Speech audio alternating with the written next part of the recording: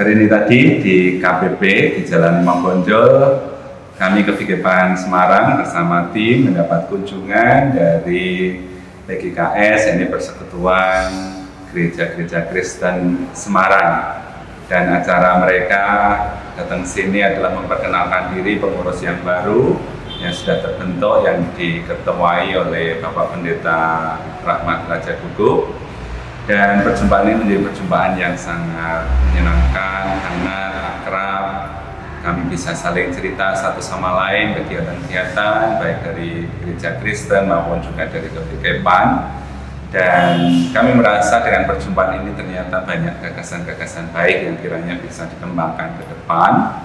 Entah kerjasama, entah pertemuan secara berkala, entah agenda-agenda yang nanti bisa memberi dampak baik bagi perkembangan umat dan jemaat Kristen juga dan kami berencana juga mau ada pertemuan berkala untuk bicara masalah-masalah yang dihadapi oleh umat dan jemaat.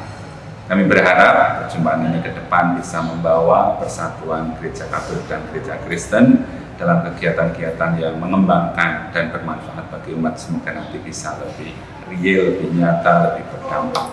Karena itu sangat senang dengan kunjungan ini dan kami berharap memberi warna baru bagi persekutuan atau persatuan antara gereja Katolik dan Kristen dalam satu kegiatan-kegiatan untuk pengembangan-pengembangan jemaat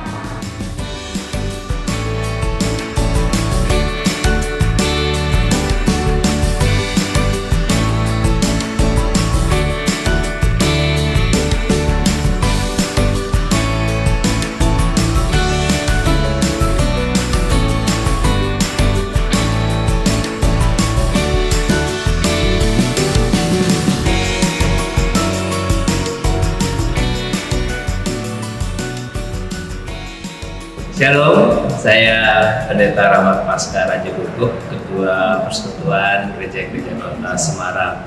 Pada hari ini, pengurus PGKS mengunjungi Ketikepan Semarang dengan uh, agenda kita bersilaturahmi dan berdiskusi beberapa hal yang kita akan kerjasamakan khususnya dalam peningkatan kebersamaan di Pekan Doa Sedunia, lalu juga beberapa kegiatan keagamaan yang kita ingin kembangkan dalam kebersamaan Katolik dan Protestan yang memperkuat komunikasi dan kebersamaan untuk kesatuan umat.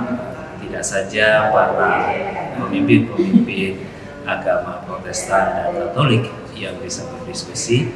Dengan harapan nanti kegiatan-kegiatan ini juga dapat berdampak bagi seluruh umat hingga kebersamaan umat Kristiani dapat terwujud tidak saja secara simbolis-simbolik tetapi juga dengan kegiatan-kegiatan yang bisa membangun keinginan dan kehidupan bersama di Indonesia ini secara khusus di kota Semarang.